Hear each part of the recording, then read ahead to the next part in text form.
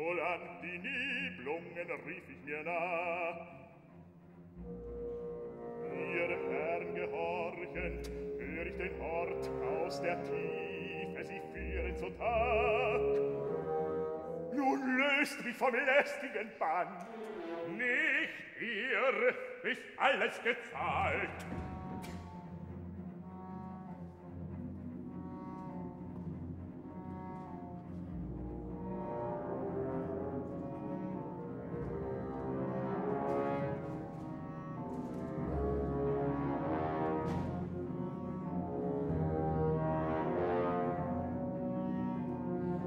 schändliche Schmach, dass die scheuen Knechte geknebelt selbst mich erschauen.